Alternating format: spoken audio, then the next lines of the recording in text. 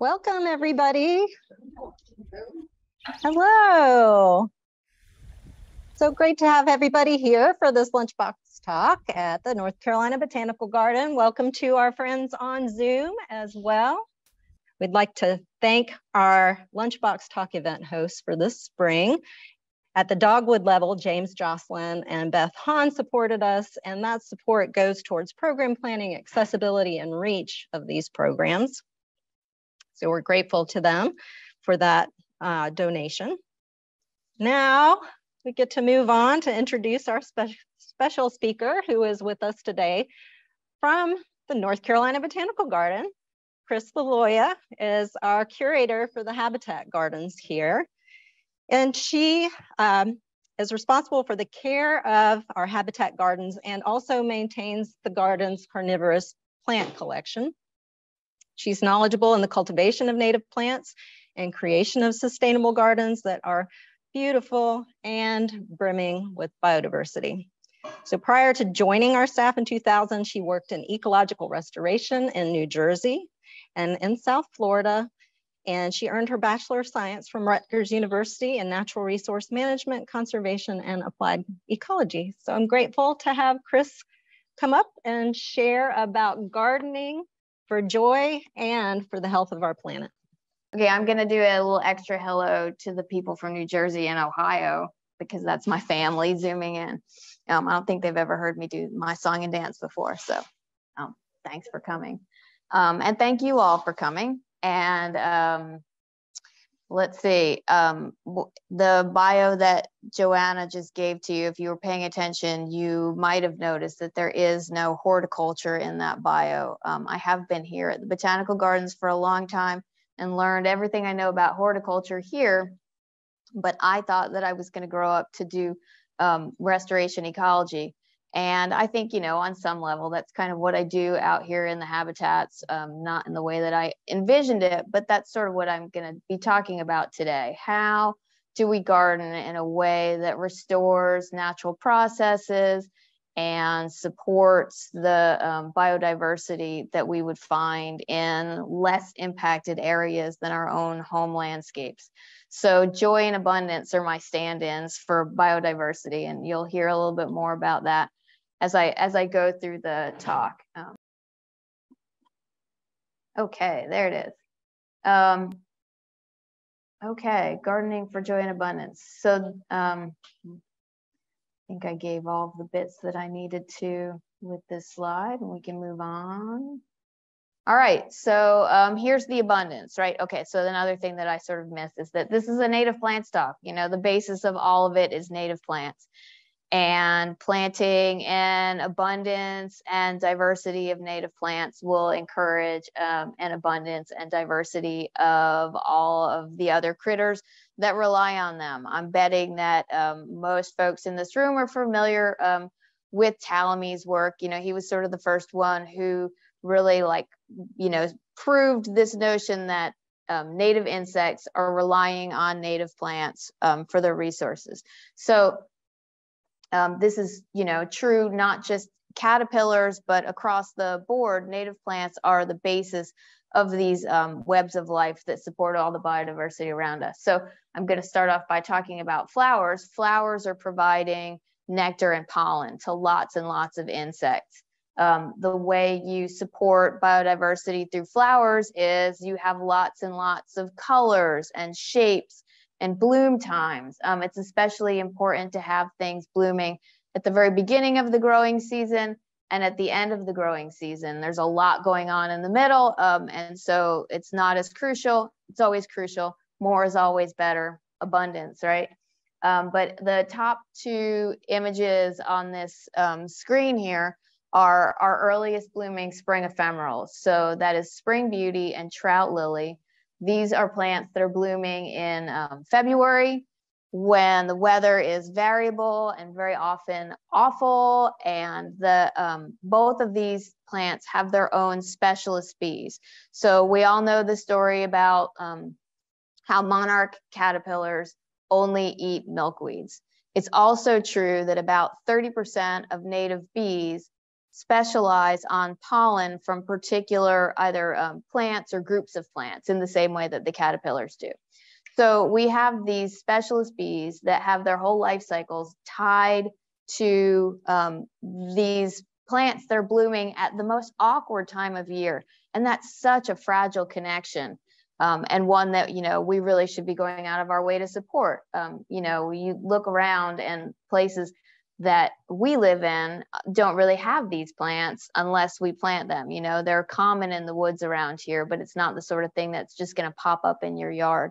And you don't realize how important they are until you sort of start to see the big picture. Similarly, the plants that are blooming at the end of the growing season, um, the goldenrods, the asters, those are things that you see turn up on all of the lists of what plants are most beneficial for insects and other wildlife. So I'm going to mostly be talking about insects, but they're sort of a stand-in, you know, for all of the things up the trophic level. So you've got, you know, the lizards and the frogs and the birds that are eating the insects and the caterpillars. So, um, you know, the insects, the native plants are the are the basis of it all, and then the insects are the next step. So, you know, finding picking plants that are going to support a diversity of insects throughout the growing season um, in a lot of different ways is um, is critical. So um, we've got the nectar and pollen down. Another way that native plants feed native insects is the herbivorous insects, usually the caterpillars that are going to turn into moths and butterflies are eating leaves.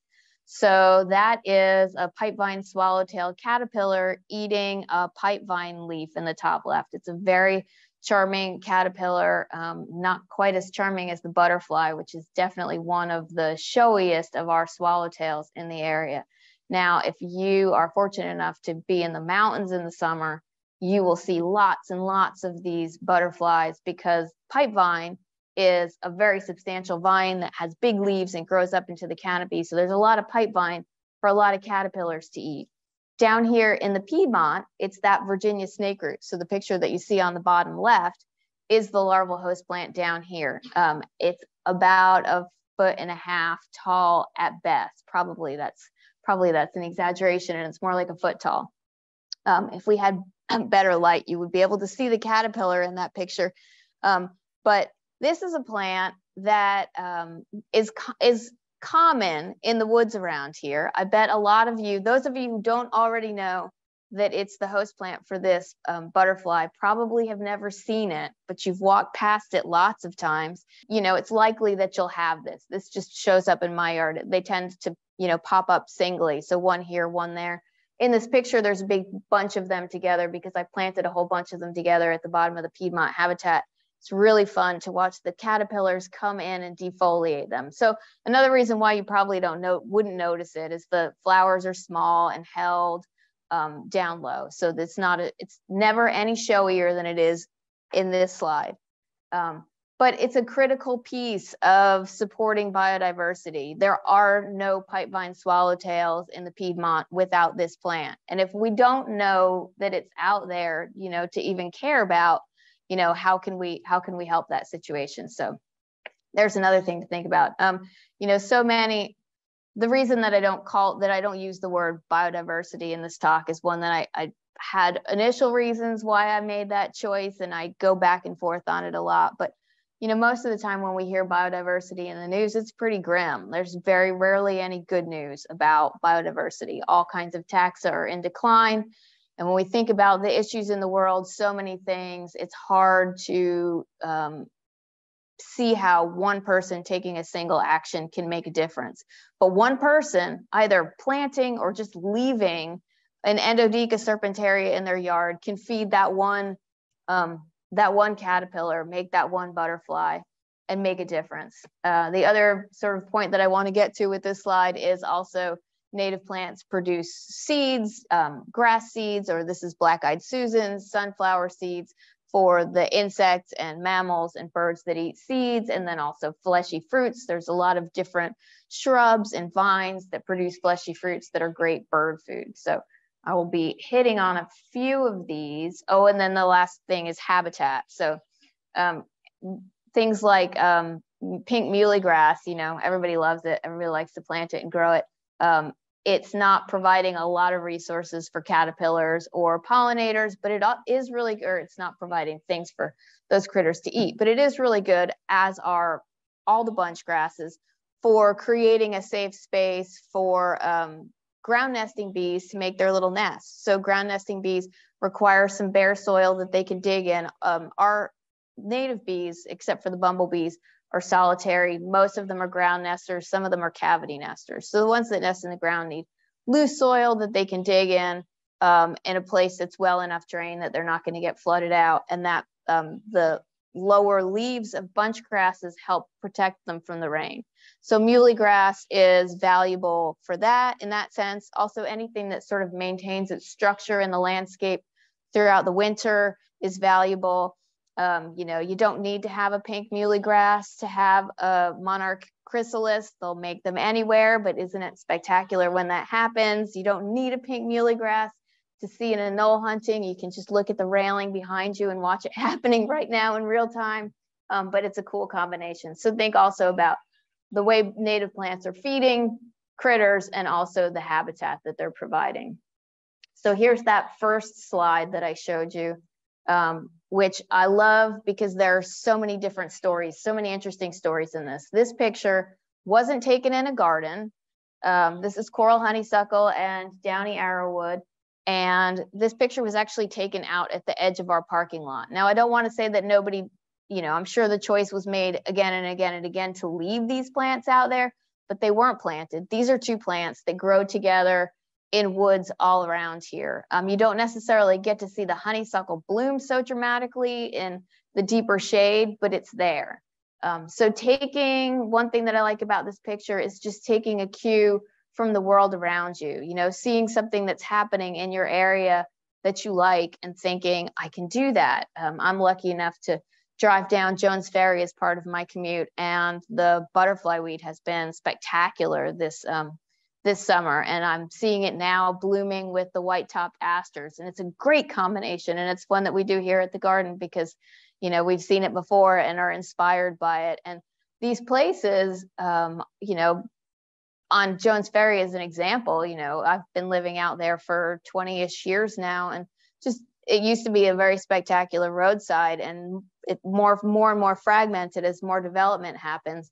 So we're seeing these um, lovely places where we can gain inspiration drop out and we need to find a way to include these plants and these lovely combinations in the world. So be that at our homes or if we can spread this you know, to local businesses, to municipalities throughout the state of North Carolina, throughout the United States, you know, uh, so on and on, we need to sort of build it out. But that idea of taking inspiration at home is a good one. Um, both of these plants are great pollinator plants. The coral honeysuckle with those long tubular flowers is a good um, hummingbird plant. Um, it has fleshy fruits that are consumed by birds. Um, the viburnum also great pollinator plant um, and has fleshy fruits itself. Um, they're both sort of average to moist soils, do well in the sun, can also tolerate more shade. Just great native plants that people should be planting. So a little bit more about the honeysuckle here. Um, I took this picture. I was um, pet sitting for one of my neighbors and I stepped out on her deck and she had this honeysuckle growing in a pot which I thought was cool to begin with. And then it's growing up on this metal hoop frame. And I thought that was really cute. And I have to say that the people who are watching this on Zoom have an advantage to you guys because they can actually see these pictures. This is hard to see on the screen, but um, one of the fun things about it, it was all these little honeysuckle arms coming off the off this metal frame. So I'm taking a picture of it. And as I'm taking the picture, I see holes in the leaves. Like, well, what's doing that? And I look a little bit closer and the caterpillar up there on the top left is what's making the holes in the leaves. So here's an opportunity to talk about my favorite um, caterpillar reference, which is on the bottom of the screen there. I got out caterpillars of Eastern North America and I flipped through it until I found the right thing. And I said, oh man, that turns into the snowberry clearwing moth. So this is one of the sphinx moths that's day flying that we see around here pretty regularly. And it's just a really you know it sort of hovers in the air like a hummingbird. It's really fun to see. So it was nice to make that connection. And i didn't realize that um, the honeysuckle which i knew supported you know pollinators and i knew supported birds but also it's being eaten by insects. Um, I, I think i'll take questions at the end. Um, it's right there on the screen snowberry clearwing yep. Um, so so much good stuff going on um, also, um, for those of you who are not as far away as New Jersey and Ohio, but not in the Chapel Hill area, all the plants that I'm going to be talking about today are Piedmont, North Carolina plants, but I've included the map from um, Alan Weakley's Flora so you can see where else in the Southeast um, they're, they're present. So see how I'm doing with advancing. Look at that. Um, so one of the things that I like about that whole, there's so many things to like about that whole story, but she was growing it in a pot. We, I think, often think of pots as a place to grow our herbs or begonias. And actually, you know, if you don't have a bunch of space, if you are a renter, growing native plants in a pot is totally a thing that you can do. Um, when we first started landscaping around these buildings when they were brand new, everything was such an in constant flux. We didn't have our deer fence yet. We got some big pots and we just took some things out of the nursery and we put them in the pot. So there would be something out here to look at. And we found that you can grow all kinds of native plants in pots um, quite spectacularly. So something as big as a longleaf pine, put it in a pot um, something as precious and delicate as an azalea. So the top left picture there is a pinkster flower and that picture was taken this spring. So that plant was in one of these beds and the original curator of these spaces for one reason or another, maybe we were improving drainage, maybe somebody was trenching a line through a bed. Um, she had to dig this plant up and she didn't know what to do with it and she put it in this pot and I can't tell you how many years ago that was. We never quite found the right place to put it back in the ground. And I've never seen like, you know, a, for, for an azalea that size to have that many flowers on it. Obviously it's not minding being in that pot. And so that's a, that's an ins inspiration for like, you know, thinking about, okay, native plant gardening might be beyond my reach. It's totally not. If you've got a pot, you can make it happen. um, the Carolina lily on the bottom left, we've done so well when the deer don't eat them, growing um, lilies in pots out here. Carolina lily is the state wildflower of North Carolina. And um, it's not that easy to grow in the ground. I think that I'm going to have one blooming this year in spite of all of the ones that I've planted over the years, but they bloom great in those pots because they're well drained. Um, there's no competition. So growing native plants in a pot is a great idea things like the pitcher plants, you know, you can't really grow it in the ground because around here, because they like peat and sand as a growing medium. So a pot's the only way you can do it. So that's my digression to sort of say that if you if you don't have a great space to garden in, you can still support this idea with a single plant in a single pot. So I'm going to talk about a few great small um, trees, large shrubs great landscape plants that also support um, some of our showiest butterflies and um, and sort of harp on the idea that planting things that support the specialist insects also supports the generalist insects. So that's another way to spread the abundance around. If I haven't gotten to the joy yet, um, the joy is watching this zebra swallowtail flit through your space. So pawpaws, um, triloba is the one that most of us know as a pawpaw and is a, is a you know can be a 30 foot tall tree. Um, Asimina parviflora is a dwarf pawpaw, very cute, um, less commonly available. But now that you know that this plant is the host plant for this butterfly, whenever you see a zebra swallowtail butterfly, I want you to look around and it won't take you that long to find the pawpaw. Like the relationship is that tight. It seems inevitable to me that when I see this butterfly, I can always find the pawpaw nearby. Um, that's the caterpillar on the top right, also very adorable. This plant blooms in the spring before it's leafed out. nice, um, sweet smelling red flowers, sort of a invitation to think about the warm weather to come.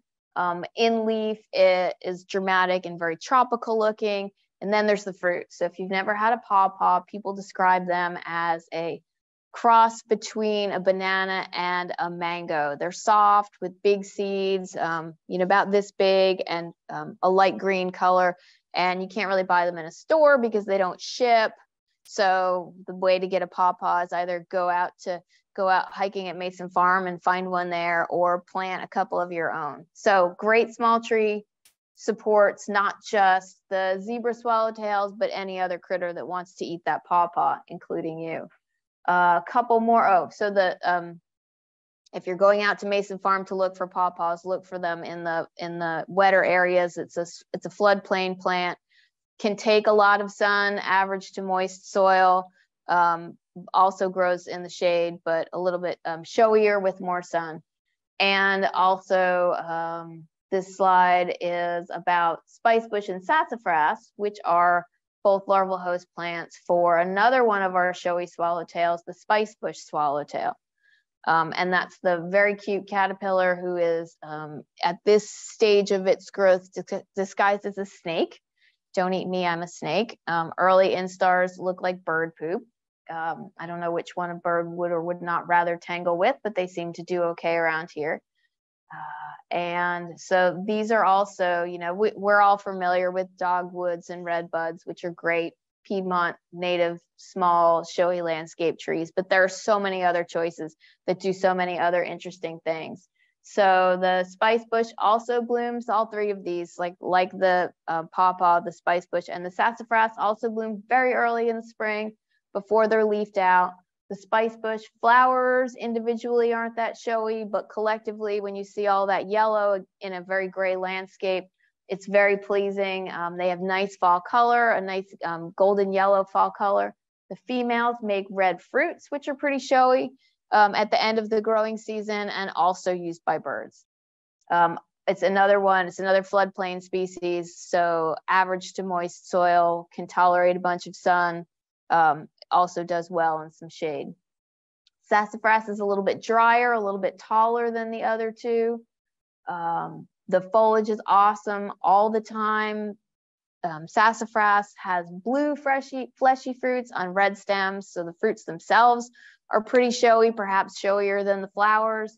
Um, the fall color of sassafras can't be beat. So these are great trees to include in the landscape and just a few examples of the great Piedmont species great Piedmont small trees um, that we could be thinking about. Um, another, I think, very underrated landscape plant is blueberries. So this is the one that grows around here, Vaccinium fuscatum, black highbush blueberry, because instead of blue fruits, it has black fruits. It has also very spectacular fall color.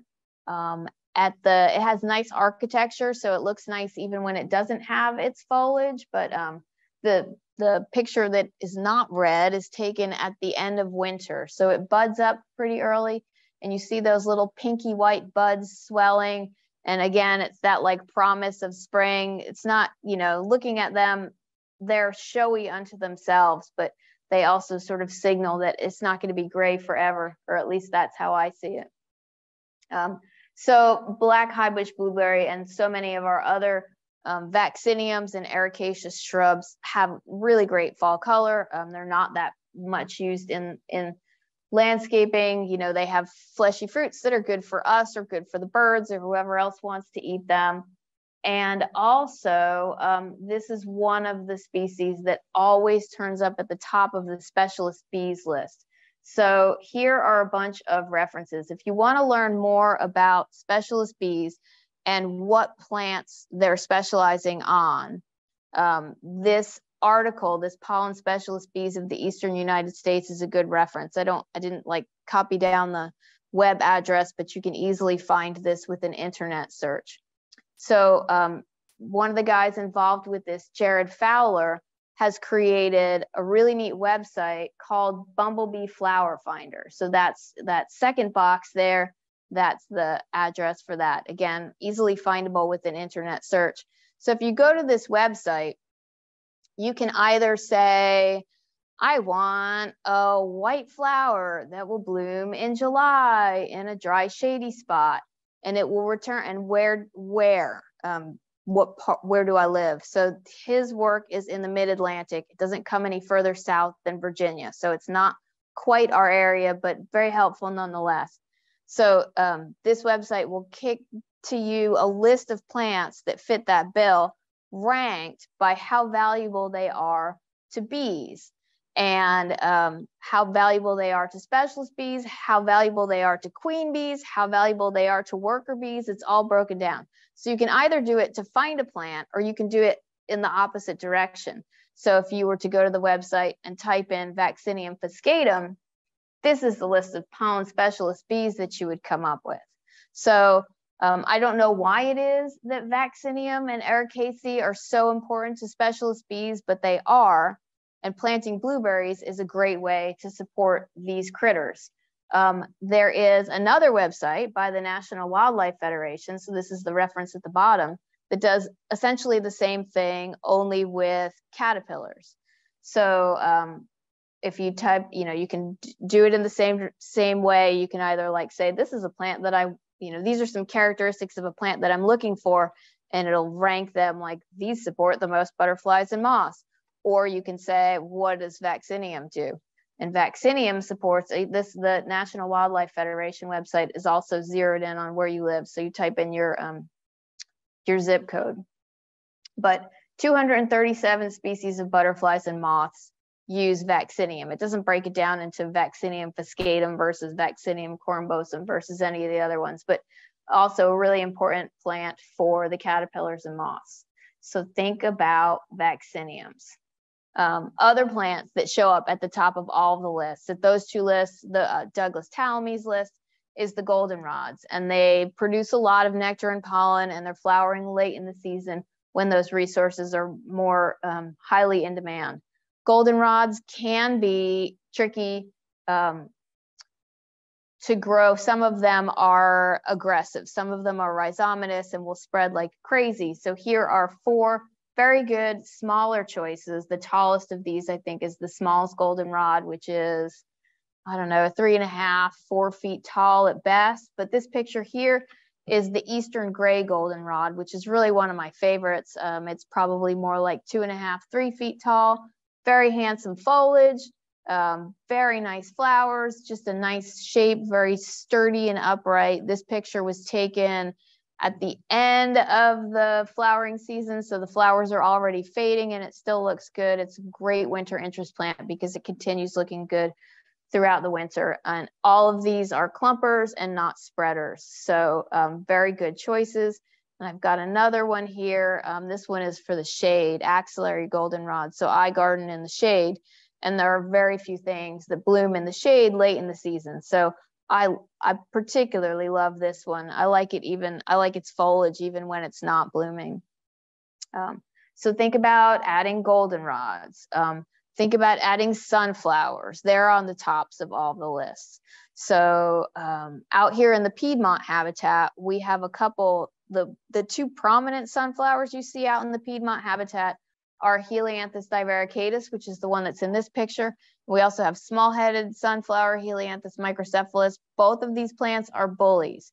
Um, if you have a lot of space and you can do like a big dramatic meadow garden, they are excellent. Um, when the goldfinches, when the when the seeds of these sunflowers are ripening at the end of the season and the goldfinches come through, it's like watching a school of tropical fish fly by. And I said to Emily, I think probably most of you guys are familiar with Emily's photographs from all of our social media. And I said, I've been trying to get capture this for years and I have nothing. And she says, Oh, I have one. So the um, the goldfinch picture is Emily. But it's so much fun. Um, and it's so much fun to see how those plants are supporting the goldfinches. They're supporting all kinds of other pollinators um, and all kinds of other critters.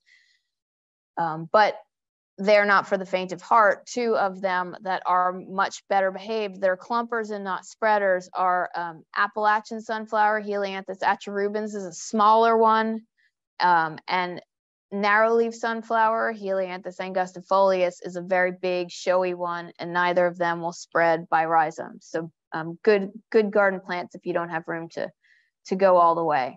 Uh, another one that you see all the time on the top of the um, of the best plants for biodiversity lists are the frost asters. And I have to admit that it took me a long while to come around to this. So frost asters are great looking. They're covered with white flowers at the end of the growing season. Frost aster isn't a species, but rather just sort of a generic term for all for the group of uh, asters that have tiny white flowers at the end of the growing season. They produce a lot of nectar and pollen and they do it later than anything else.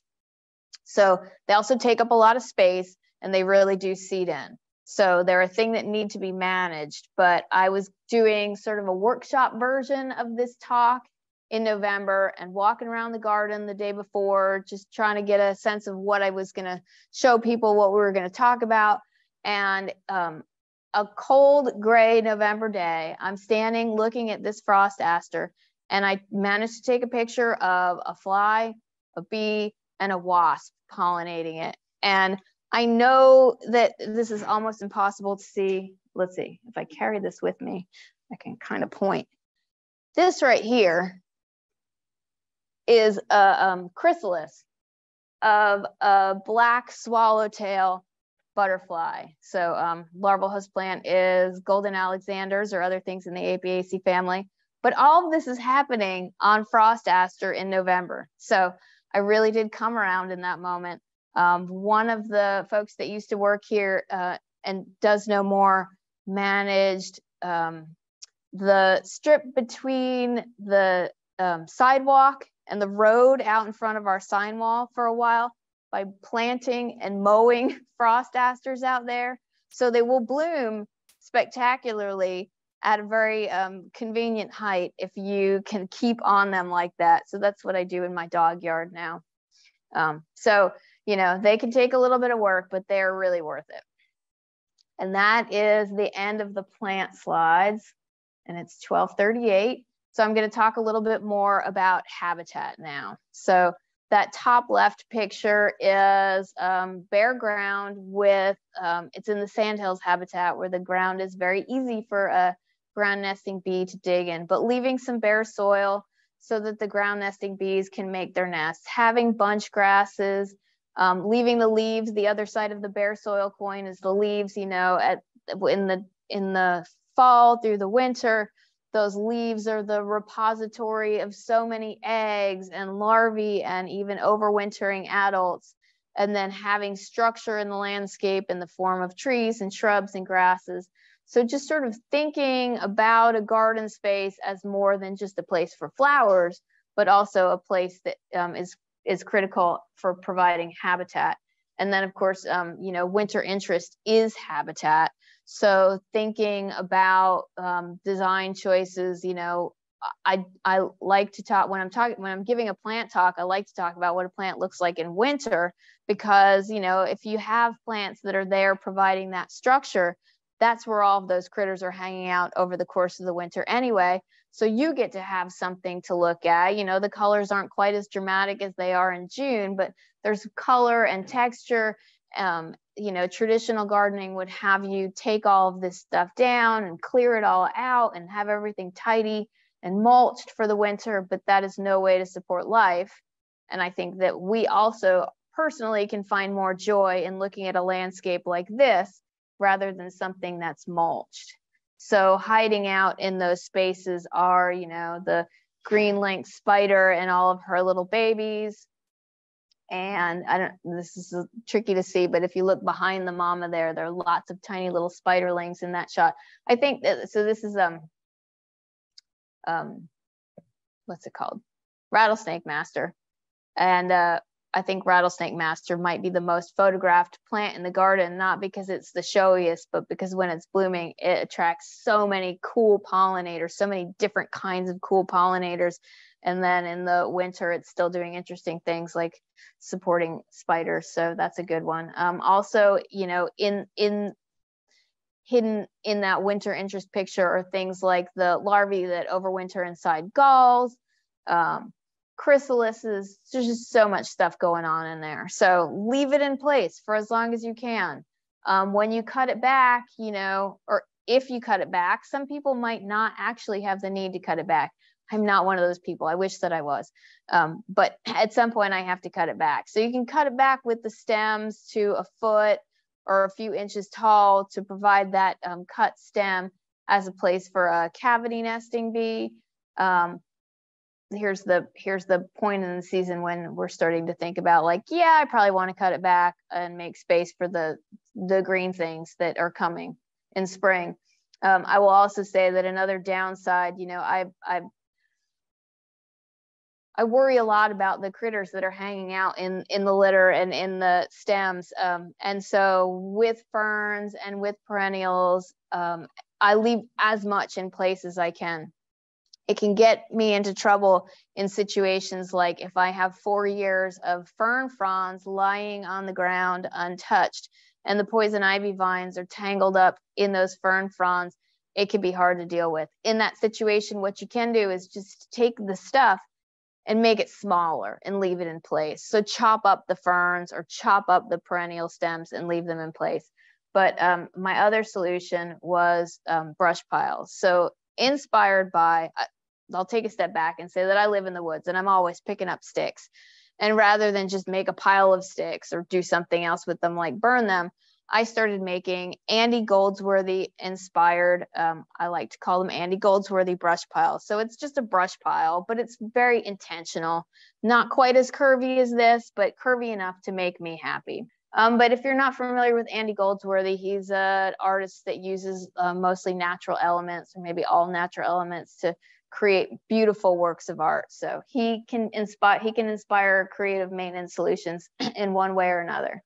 Um, so I would do this with my my brush piles at home. I started doing it with perennial stems. So my Andy Goldsworthy brush piles became piles of perennial stems that were sort of winding through the backs of beds or around trees. And from there I escalated and I started building little fences. So this example of a little fence built with perennial stems is um, just a bunch of cut stems laid between two sets of um, uprights. So just laid in there. Um, you can add more as the years go by. The both the um, holes in the uprights and the holes in the horizontal stems are potential nest sites for cavity nesting bees. You haven't gotten rid of any eggs or galls or you know any of the the critters that were potentially in those stems. It allows them to decompose in place and return all of that organic matter to the soil makes me feel a whole lot better. Um, and it looks pretty cool too. So I did it in a couple different ways. Um, this is the sort of stacked between two uprights method. I also started putting in single uprights and weaving the stems between them. The second method is a lot sturdier. It's a little bit trickier to add more, but you can just push it down from one year to the next and then just build the next layer on top the word of advice that I have for either of these um, things is you need to sort of have a sense of how long the perennial stems you're going to use will be and make sure your uprights are spaced such that each perennial stem passes three of them. That's what it takes to hold the whole thing together. But very satisfying. Um, they they prompt a lot of questions that I like to give the answers to out in the garden. You know, promoting promoting maintenance for for um, biodiversity. Here's another one that I did um, thinking that maybe the bees would be happier with more horizontals. And I will admit that I have never gone back and actually watched to see how well they're being used by bees. But if you do look at them from year to year, I can see they're definitely being used by insects in lots of different ways. So even if I'm not creating the ideal bee habitat, I still feel pretty good about the project. This one is actually a little built frame um, to hold the uprights in place and just um, stuck in the ground. Um, and we took our show on the road to Washington, D.C. a few years back and built a um, native plant garden of Piedmont plants um, with our very own Chapel Hill grit paths. And I built a fancy one up on the National Mall. This is my 15 minutes of fame um, my wattle on the National Mall. So this, I think, I think I just put it in there to show off a little bit, but also you can see pretty clearly in this picture how it's done. Um, and to go back to the brush piles, um, as I've said, I escalated with the wattle fences, then I kept escalating with the brush pile. So how do you use all of these branches that are falling in a way that creates habitat, but is still neat and tidy and aesthetically pleasing? And I think there are a million ways to do this. And I spent a lot of the early pandemic sleepless nights thinking about this. And I came up with this little sunburst idea. So, you know, unlike um, oh, I can't think of his name. The guy that made the um, super cool stick sculpture, Patrick Dougherty. We had that great stick sculpture. So he's using fresh material. It's very bendable and pliable, and he does amazing things with it. But my goal was to take the material that's already fallen. So you really don't have that pliability. You don't get to decide how long or what shape anything's going to be. So building this little sunburst, this little sort of like um, shape on the ground. You can keep adding things to it. I built a little frame underneath so it's lifted a few inches off the ground.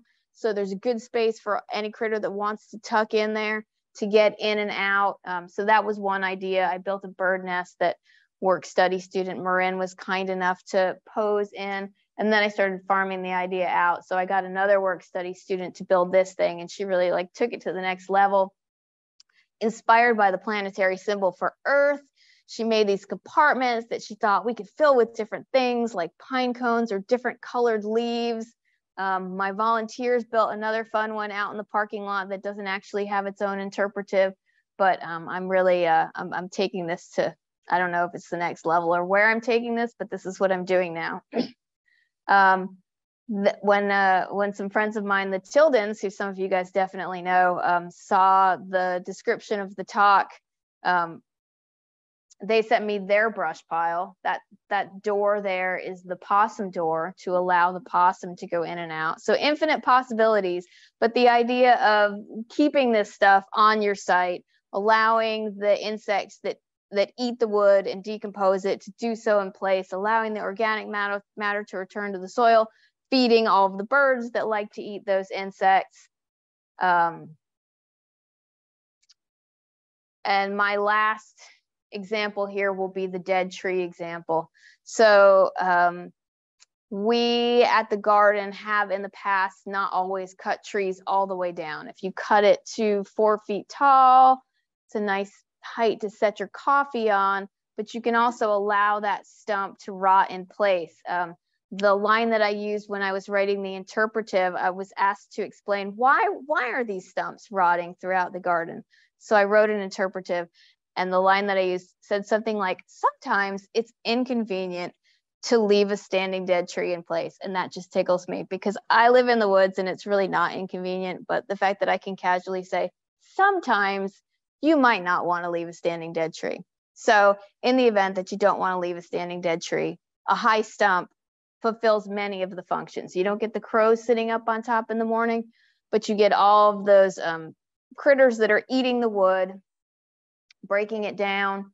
Um, and this spring we had a Carolina wren. So that's the picture on the right. You can see mama wren peering out of the nest. So like within inches of the path at eyeball height for all of the kids that came along, we had a mama wren and five-ish noisy baby wrens in there and it's like the picture you know here's the, here's the biodiversity poster children right there so um, similarly, you know, putting salamander logs by the by the salamander pool and some of the vernal ponds in the mountain habitat just sort of thinking about these natural ecological processes how we can incorporate them into our own spaces that are not the woods um, in a tidy way in a meaningful way in a way that brings you joy and supports all of the other critters that desperately need our help. So that um,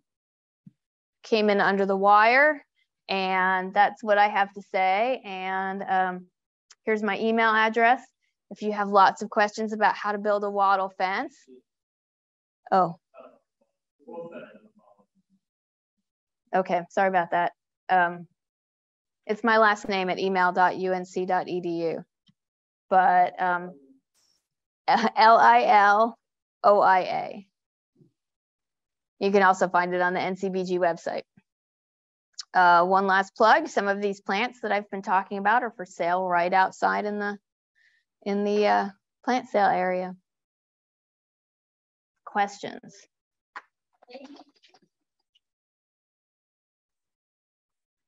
Thank you so much. And we have a little bit of time here for some questions. I know there are a couple online. David, if you want to read one of those, I'll take some hands here and walk towards folks. And this is my microphone in my hand. you provided a great segue into some of the questions that we had. Um, they were about sourcing native plants. Um, one participant wants to know about sourcing trout lilies, if you have suggestions, or do you know if they're hard to transplant?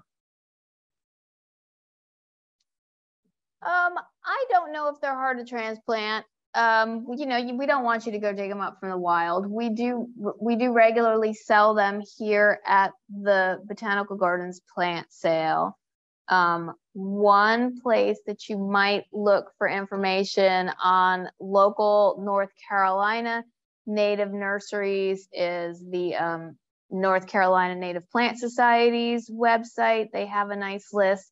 We're working on our own list um, but their list is, is quite up to date. So that might be a, a good place to look. But um, definitely start by checking us out because I know it's a thing that we work on here. Um, it used to be that we um, uh, used to be that we would start the daily plant sale into time to time or in time for the trout lilies to be blooming and on the plant sale. Okay, we'll take a question here in the audience. Yeah. Um, as a, a person who is just starting to get into this, um, is there anything you would recommend like if this weekend we wanted to go out and start working on this? Like is it too late to plant perennials right now? Or is there sort of are there any resources for timing of when? Or is it sort of like just do it and see what happens? Um I, you know, this is not the best time of year to plant a thing. And the reason for that is the temperature and the um, unpredictability of rain. So if you plant something now, um, you do need to water it. And if you're planting something delicate now in the sun, you might need to like give it a little bit of shade to let it get established. Fall is really the best time of year in our area to plant. Um, but you could buy plants and keep them happy and it's easier to keep a plant happier in a pot this time of year than it might be in the ground. Um, or sort of you know it's a good time to make your plans and figure out what's the list of the plants that would work really well in my yard that would support the most specialist bees. Um, so yeah it's a good time of year to be thinking about it. Thank you that was a great question. And David, I think there's another one online. And are there any other hands in the room? I'll make my way to you. Sure. Yeah, there's one more question about sourcing uh, native plants. Um, this person's finding it difficult to find uh, common native species that aren't valued as, you know, landscape or ornamental plant. Um, I, I, did share our webpage of recommended sources for native plants, but if you have any suggestions or recommendations for specific sites that can encourage a diversity of native plants? Mm-hmm. Um, that's a that's a tricky question, um, and it's one that comes up a lot. Um, we here at the Botanical Garden do try to address that issue, um, but another way to get, you know, I I think that we have sold that Virginia snake root before, but it's not one that we do all the time. Another way, um, you know, it's not the best way to get plants, but the North Carolina Native Plant Society, um, in situations where there is no hope, goes in and rescues plants that are going to be um, taken out by development.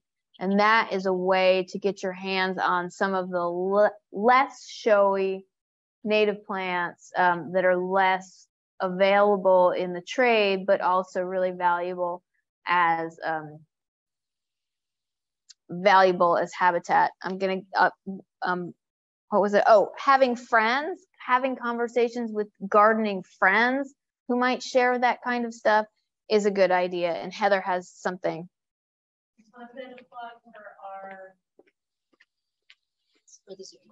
I just want to put in a plug for the Gardens uh, member seed program as well, because we do give away seeds for free to our members each year. And oftentimes there's things that are offered that um, maybe aren't the showiest, but also support um, biodiversity as well. So it's an opportunity to get some things that aren't normally available in the commercial trade. Yeah, Heather does a great job of including um, some of the not obvious great plants that people should be growing. Just wanted to plug the fall is for planting sale here every fall too. Yes, Thank you for that. yes, coming up in the fall, lots and lots of plants. And the, the next issue of Conservation Gardener is going to be about the difficulty that people are having, you know, sourcing native plants at this point. I think um, between the Audubon Society and Doug Tallamy really connecting the birds to the plants, there's been so much more interest. I think also the pandemic, people are spending more time in their gardens and it's a wonderful problem to have, but we all need to work on making more plants so we can really support this movement. One more question here. talk here. Yeah. just like that as Um, I was wondering if you might have more success in getting more of this um, to show up in neighborhoods if you got a hold of the landscapers and changed their ideas about what places should look like. I know that a lot of it's homeowner driven. They'll tell the landscapers they want expertise. But if the landscapers were to have this vision and bring it to them, they would actually uh, where it's up to them and where they could convince the homeowners to do things too. So it seems like if you wanted to figure out how to get the maximum multiplication of effort, um, they might be the touch point to, to actually make it more widespread. It's a Yeah. thought. That's a good idea. I know that there are certainly some people around here who are very much doing that, but they're in a minority. So we do need to get more people on board. And I'll add, we're partnering with the New Hope Audubon Society. I believe it'll be this fall on some classes for landscape architects. So they'll get continuing education and learn about native plants and planting. So, well, I think our time is here and there are no more questions in the audience. Your presentation has brought joy to me just being here and listening to you and seeing your wonderful sculptures. Maybe there's a book in the future of your brush piles. We were calling them So- artisanal brush pile, artisanal brush piles for a minute there. I love it. Got to work on the perfect name. Well, Chris, thank you so much.